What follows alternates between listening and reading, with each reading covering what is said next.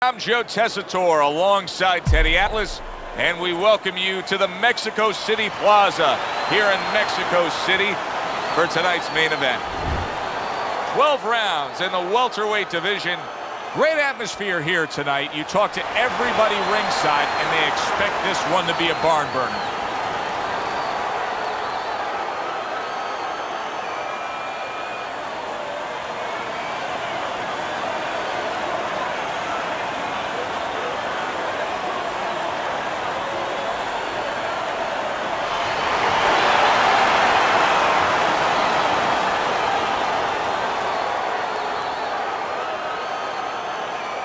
All right, fellas, let's have a good, clean fight.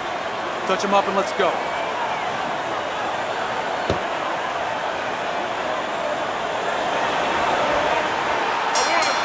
Round number one, scheduled for the championship distance of 12.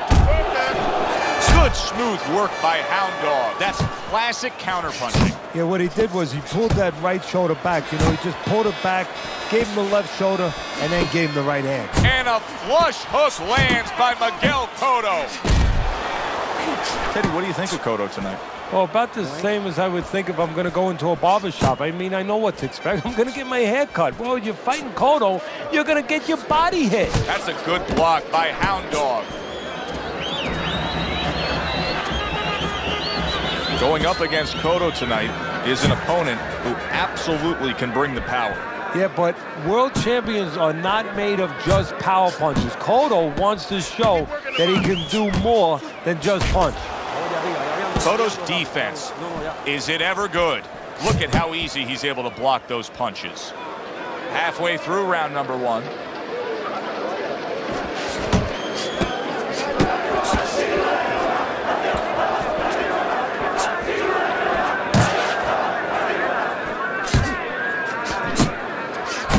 Unable to score with the uppercut that time.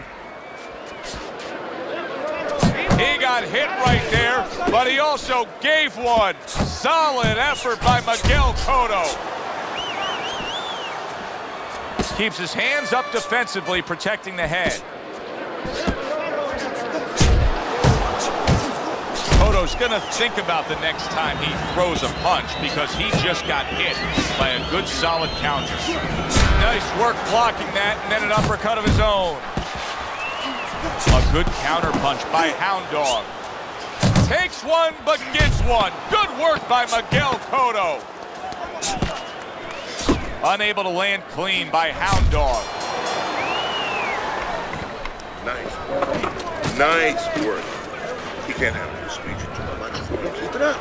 You got any more of these? I'll do you one. Hold it. Here we go. Round two is underway. Well-placed shot. Came after a nice defensive move there. Good block.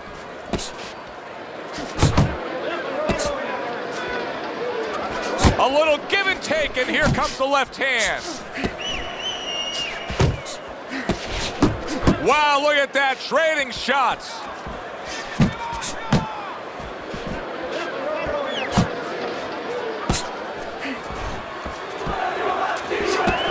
Cotto, obviously a Puerto Rican native, but he has made Madison Square Garden in New York his home away from home. Yes, a lot of Latino fans, a lot of Puerto Rican fans in that area, and they have embraced him.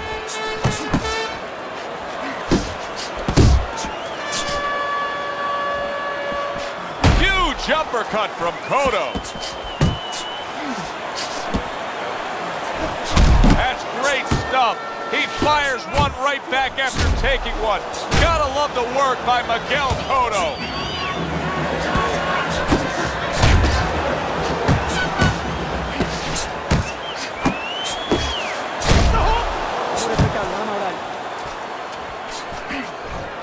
Blocks that belt line well.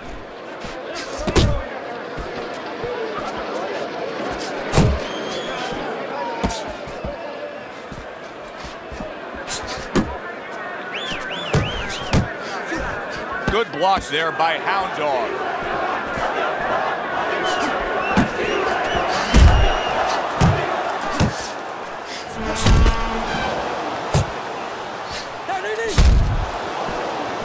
Up top with the right hand. Final 10 seconds of round number two. To the head he goes with a left hand. You want this fight? Listen to me. You want this fight? You gotta stay busy out there. You're losing this fight because you're not throwing any punches out there. the corner. Too much. Listen. Hound Dog's back. Look at him here in the start of this round. Remember, he got tagged hard in that last round. Well, that's the reward you get when you have a good calf and you get yourself in top shape. Cotto's right hand scores well that time. He had his eyes set on the uppercut, but was unable to land it.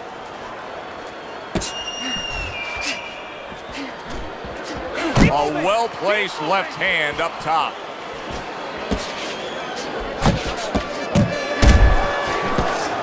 That was a fine block by Hound Dog.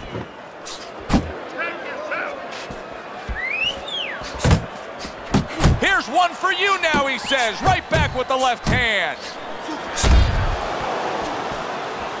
Good block. Back and forth they go, each man getting the best of it. 90 seconds to go here in this round. Effective work with that flush overhand right. Flipping him with that uppercut. Big shot by Hound Dog.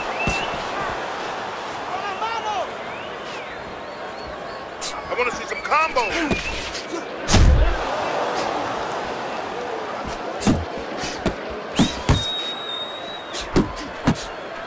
Not hitting his mark there going upstairs. See, that's some fine defense right there. I love that block by Miguel Cotto. Hound Dog's winning the fight to me based on his overall speed. He's just a faster, quicker fighter, and it's making it so that he's able to employ his ways and get the best of his opponent. Oh, he has that physical asset, no doubt about it. You can see it. But he has to be careful that he doesn't get carried away. He doesn't get reckless with that speed. Oh, he just misses with that headshot. And that's the end of round three. Head, okay? Side to side. Lean to the side, then boom! Counter punch. Counter punch. Hound Dogs enjoying a lead on Teddy's scorecard the first time we look at the scores ringside here tonight. Although early on here, it's not as if either man is in complete control of this fight.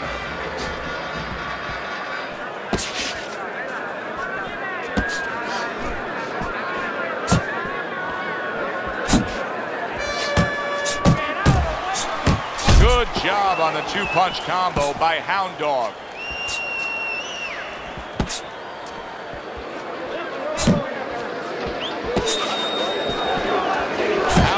Putting a smile on his corner man's face right there and frustrating his opponent with that jab. Keep doing what you're doing.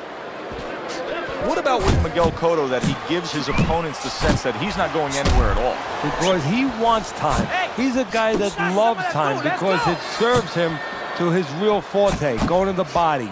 And when you go to the body, it's like putting money in the bank. You want time to get interest.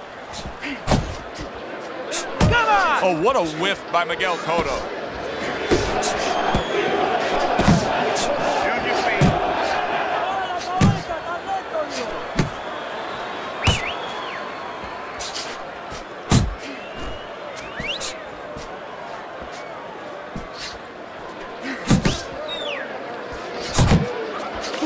Good step back counter punch there. Beautiful. Hound Dog's coming up big here early on in the fight because he just, oh, he just ate a big uppercut right there. He had no idea it was coming his way. He does not look good at all.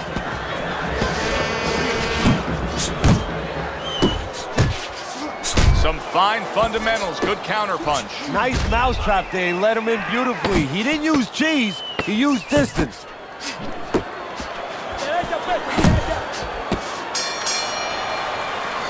This round comes to an end. Now that he's back in the corner, we get a close-up look. Miguel Cotto's cut even looks worse. And it's up to the fighter now, Joe, for his attitude not to change. You know, we can look at it and we can say, wow, that cut looks worse. The fans can look at it and say that.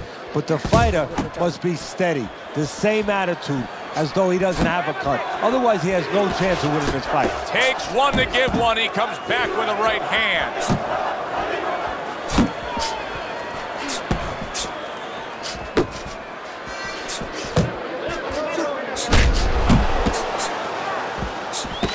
Not able to land the headshot.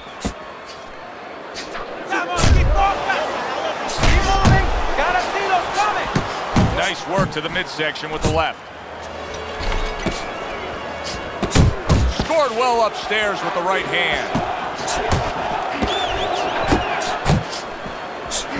Miguel Cotto's finding out right now that this counter-punching style is not getting the results he needs in these middle rounds. What is the answer? Well, when a guy's not coming in and walking in, you can't counterpunch. I mean, he's not he's not giving you the kind of turf that you need. Now you have to find a way to create your offense, to lead a little bit. That starts with the jab, getting off first.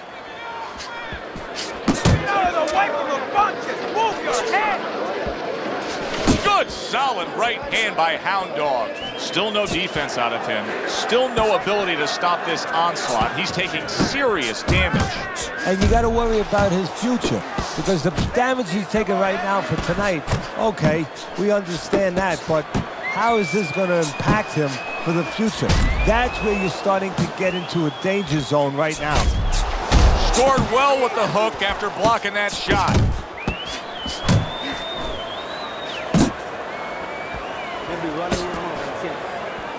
Oh, that's good stuff. Firing right back with one of his own. Good work by Miguel Cotto. Coming to the end of round number five, last 10 seconds. And that's the end of round five. You can have the best game plan in the world, but when your eye shuts closed like that, everything changes. But one thing doesn't change, Joe, and that's the mentality of a warrior. You find a way. You do not give in. You find a way. You concentrate harder, and you see with that one eye what you need to see. You're losing this fight. I need you to take some chances. The start of the sixth round. Shanky dog. Needs to improve that accuracy. Missed with the headshot. Well, his opponent is opening up and coming forward, so I would think there are some opportunities that exist. Yeah, I think some counterpunching opportunities. Opportunities not on the front end, but on the back end. Cotto's got something to think about now. He just threw a punch and had one coming right back at him. His opponent scored well with the counter. And you see what he can do when he sends that right to the head.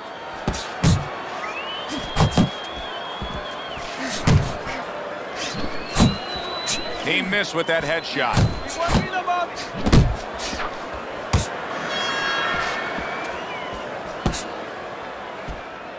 Side. Side. Reaching the halfway point of round number six.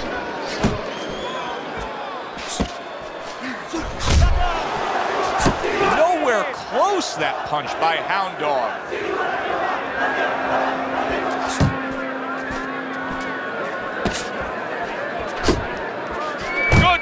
Shot, returning fire. Well done by Hound Dog. And now just wasting everybody's time holding on. Back to the body. Back to the body. That was not well targeted by Hound Dog. Both men digging in with uppercuts.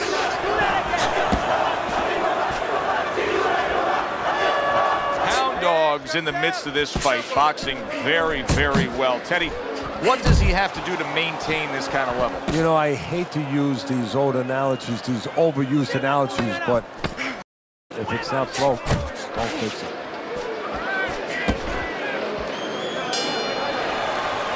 Well, that's yet another round that he won. And Teddy, he's How in you feeling? great shape. Not winning what what were you hearing out of his You're training camp as to He's how he got so conditioned? Well, we were hearing that he was doing his road work, wearing knapsacks with 20 pounds of sand in them, running uphill. I mean, that's one of them. Also, instead of taking minute rest and sparring, he was taking 20 seconds, 30 second rest. It's showing right now. Takes one, gives one. The right hand scores well. He tried to nab him up top, but was unable to connect.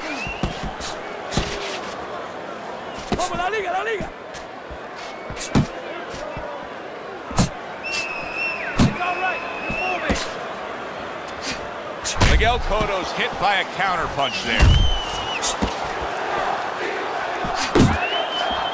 Cotto's punch is far off the target. Good work. Able to dismiss his opponent's shot and then comes back with an uppercut.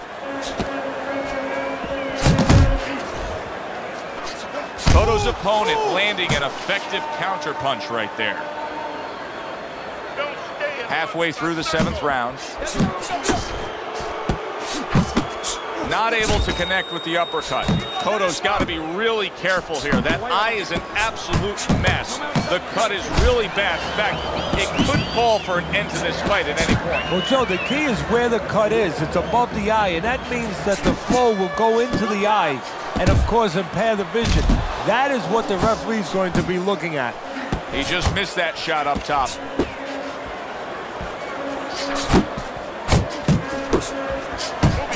Combo lands upstairs.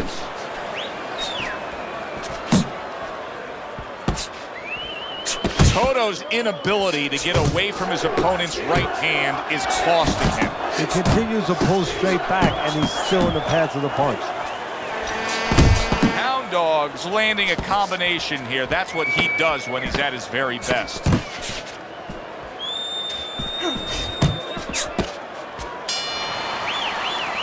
And the round comes to an end. Had him that round. We're in control. Next round, let's keep busy. You gotta watch the water. Keep that head moving. So round eight is underway. Hound Dog's enjoying a commanding lead on your scorecard, Teddy. You got to think that that would hold for him because he has now strung together so many consecutive rounds where he's been dominating. Yeah, it's methodical. It's been a real workman-like effort. Concéntrate en él, vamos, concéntrate en él, vamos.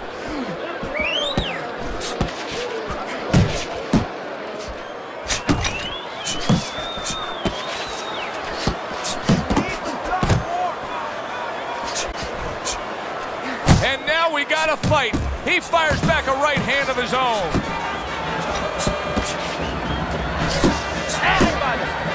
Cotto's punch didn't come close. The beating has ended. That is enough unanswered punches. The ref stops it. It's a TKO victory.